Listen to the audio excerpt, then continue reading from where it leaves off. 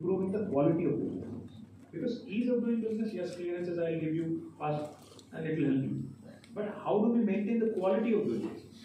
How do we ensure once you invest, there are no more hitches, no more disturbances, no more irritations for you? Some local politician writing and saying, you know, Kitex is doing something wrong, so order inquiry. That shall not happen in Telangana, I promise you.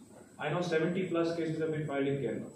Just because someone, Tom, Dick, Harry, wrote a letter, they can't file case like that in Telangana. That's not, that's not how we work. We take utmost care of industrial relations.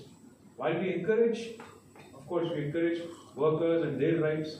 Of course, we don't encourage exploitation by any industry that is not allowed. I'm sure you will pay more than minimum wages. So therefore, there is no reason why we should have anything uh, uh, in, in the way of uh, interference. So my request to you, Mr. Jacob, is I promise you.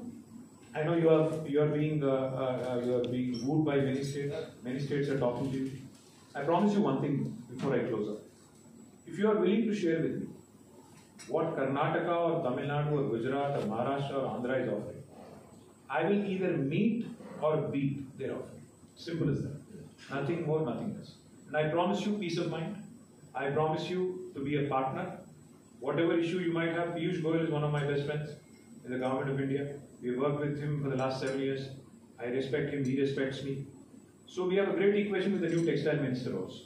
Whatever you require. Mr. Ravi Capoor again values the state quite highly, the Union Textile Secretary. So whatever you require in government of India, I promise you, irrespective of our political differences, I will get it done. And whatever you require in the state, you need to speak to only one person. And no nonsense such as cases, etc., etc., that is not allowed in this state. We don't, uh, you know, we, we want employment creation, you want to support entrepreneurs. So welcome to Telangana. Of course, we can discuss freely and we can even uh, talk after or during lunch.